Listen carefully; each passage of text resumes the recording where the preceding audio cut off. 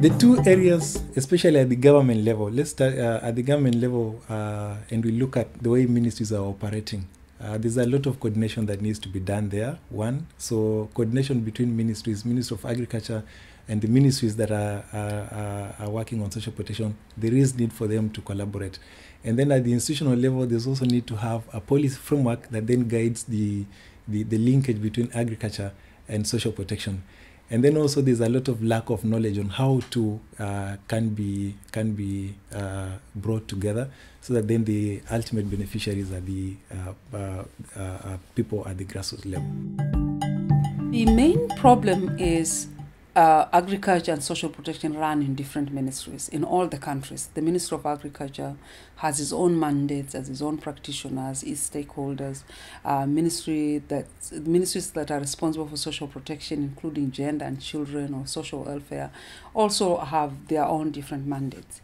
So sometimes the challenge is uh, to bring together these mandates um, and also to engender some understanding among the practitioners on the relevance of each of the sector to each other.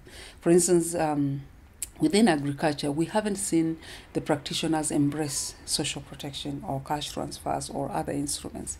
Yet we feel these instruments are critical to addressing poverty alleviation. Ultimately, our target population is the same the poor, rural areas, the vulnerable, and if these two sectors could work together, the synergies would need to be created. The other problem um, is policy environment. You'll find that agricultural policy does not recognize social protection, and some social protection policies may not sufficiently recognize uh, the role of agriculture. So, bringing their mandates closer or having um, a system that integrates the different mandates in the policies would make it easier for them to interact. Well, currently, I think currently we have been working very, very closely with with the Minister of Agriculture. I think what needs to, to, to be done, of course, is to strengthen, strengthen as you have rightly put it, to ensure that uh, the, the two ministries they, they don't work in isolation because the moment you start going into isolation, you, you are targeting the same people.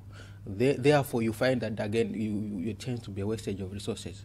But when you, you come together and work as one, meaning that if you go, for example, even in the field, uh, we go as social welfare in the field. We carry along also Minister of Agriculture, meaning even in terms of transportation, would have killed, you know, you know, a lot of, uh, we would have achieved a lot of objectives because again we are not going to be duplicating resources so all of us we go together and and do our work so we are targeting the same same beneficiaries so therefore we need to work together as one we should not be working in, in isolation. Of course, sometimes in reality you find that sometimes people will be looking at the resources, who gets more resources than what.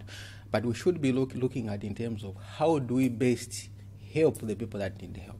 I think there are institutional challenges. It's not always clear which ministry should be running these programs. Often they are in the Ministry of Agriculture, but actually it's more like a social development um, program, and you sometimes see the two ministries um, working together.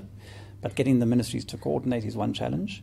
Also, the development partners or the donors, because they, the donors have got one uh, agenda, they're pushing a certain type of social protection program or agriculture program and governments often have different objectives. So, for example, donors don't always support input subsidies, whereas governments do. Whereas uh, donors are trying to promote things like cash transfer programs, pensions, child grants, and are not so keen on input subsidies because they think that they distort the markets.